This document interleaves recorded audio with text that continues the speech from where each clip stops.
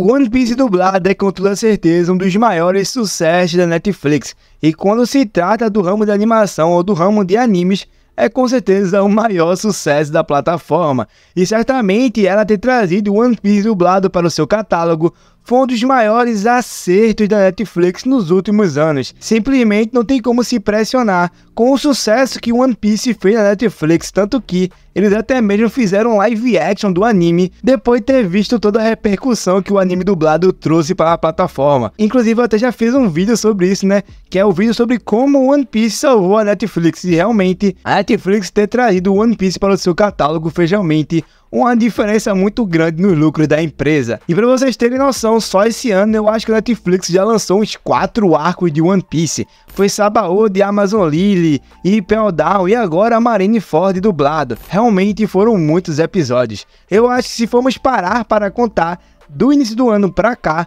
eu acredito que já foram mais de 200 novos episódios só de One Piece dublado. Inclusive, eles até trouxeram os episódios atuais de One Piece para o seu catálogo e agora estão postando novos episódios semanalmente. Mas isso obviamente foi para alcançar o público que está acompanhando One Piece lá no episódio 1100 e alguma coisa, são muitos episódios mesmo. E recentemente, no dia 1 de abril, foi lançado o arco de Marineford dublado, que foi simplesmente o arco mais esperado de One Piece dublado como um todo. Desde que foi lançado o primeiro episódio de One Piece dublado, todo mundo, inclusive eu, estava ansioso para ver como seria o grandioso arco de Marineford de forma dublada. E ele enfim chegou. E querendo ou não, ele trouxe muitas coisas com ele. E uma dessas coisas que ele trouxe é o fechamento oficial do período pré-time skip de One Piece. Sim, a partir agora do próximo arco, One Piece terá um salto de dois anos na sua história. E agora iremos ver os personagens de One Piece muito mais avançados, depois de cada um deles ter feito um grandioso treinamento com seus respectivos mestres. E agora que o arco de Marineford dublado chegou, a dúvida que sempre vem com os novos lançamentos também chegou que é quando será que será lançado novos episódios de One Piece dublado. E agora, no caso, será o arco da Ilha dos Homens Peixe. Agora, literalmente, o Luffy vai precisar ir pro fundo do mar para continuar a sua aventura como pirata. E bem, rapaziada, antes de tudo, para você não criarem muitas expectativas, eu já deixo logo claro que o arco da Ilha dos Homens Peixe não é tão bom assim, na verdade, ele é considerado como um dos piores arcos de One Piece. Diferente de Marineford, que foi muito aceito pelo público, na verdade, o arco de Marineford é considerado como o melhor ou um dos melhores arcos de One Piece, enquanto ele é isso, o arco dos Homens Peixe não é tão bem aceito assim.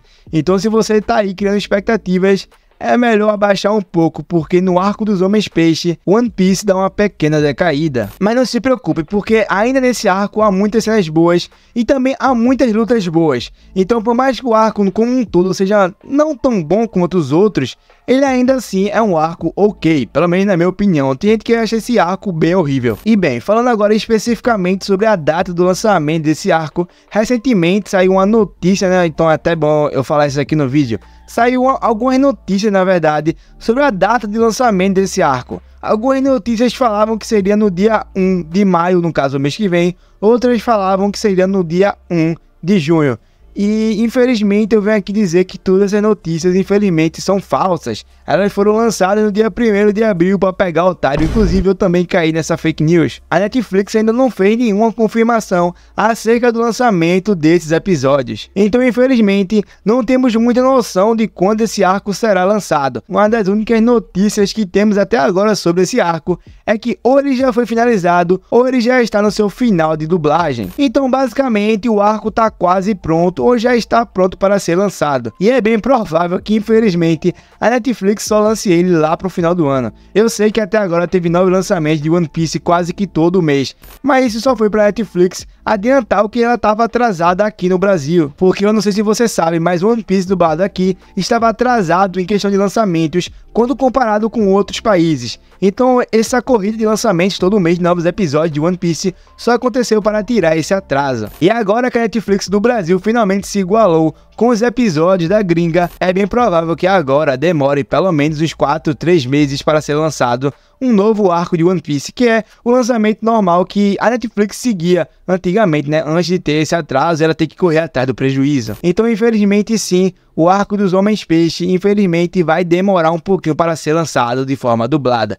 Mas se você quiser já assistir, né, ele logo legendado, se você tá aí ansioso, é só entrar na Crunchyroll que lá já tem esses episódios legendados. Mas enfim, agora eu quero saber de você. Você vai esperar para assistir o Arco dos Homens Peixes dublado ou você tá realmente muito ansioso e vai assistir legendado? Comente tudo aqui embaixo, pois eu quero ler e responder o seu comentário. E se você gostou desse vídeo, não esquece de se inscrever. Como eu já falei, toda semana eu trago vários vídeos com conteúdos e novidades sobre diversos animes. Então se você não quer perder nada, já se inscreve e ativa o sininho. E se você quer ter acesso ao grupo do WhatsApp do canal, não esquece de se tornar membro, pois assim, além de ter acesso a vários benefícios, você também vai estar ajudando financeiramente o canal. E eu agradeço muito. E agora, sem mais delongas, eu te vejo no próximo vídeo. Muito obrigado pelo seu apoio. Valeu, falou!